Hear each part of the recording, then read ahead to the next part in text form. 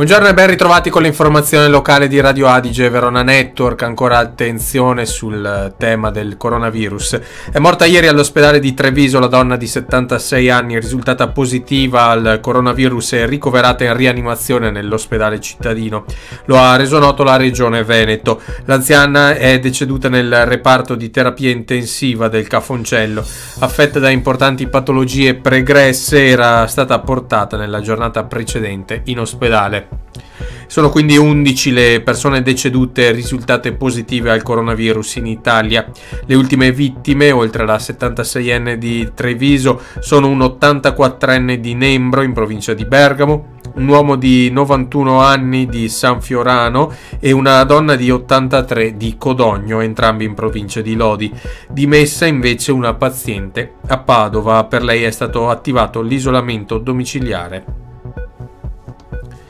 E ieri il presidente della regione Veneto, Luca Zai, ha incontrato i rappresentanti del mondo produttivo e delle istituzioni del Veneto al centro operativo della protezione civile di Marghera. Ha confermato il massimo impegno della regione e ha chiesto aiuto a tutti per gestire in maniera unitaria e coordinata l'attuale fase di emergenza, invitando tutti a seguire lo spirito di squadra e applicare buon senso. Queste le parole di Zaia.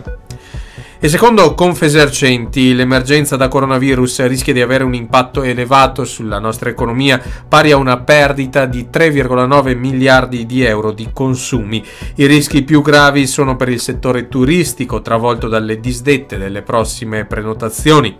Il presidente e il direttore di Confesercenti Verona, Paolo Bissoli e Alessandro Torluccio, chiedono interventi rapidi e collaborazione sia al governo centrale sia all'amministrazione locale e a risentire dell'emergenza anche le manifestazioni tradizionali veronesi. Per la prima volta in 52 anni, infatti, la festa della Renga di Parona non si farà.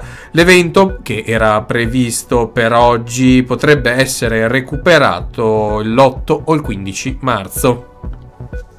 Ricordiamo infine che è attivo il numero verde della Regione Veneto 846 23 40 per informare i cittadini.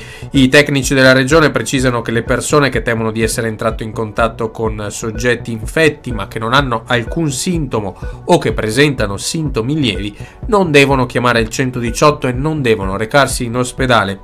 Devono invece rivolgersi al numero verde che in base alle notizie riferite fornirà tutte le informazioni necessarie. Ripetiamo Ripetiamo il numero verde della regione Veneto 846 23 40. Con questo è tutto, arrivederci al prossimo appuntamento con l'informazione locale di Radio Adige Verona Network.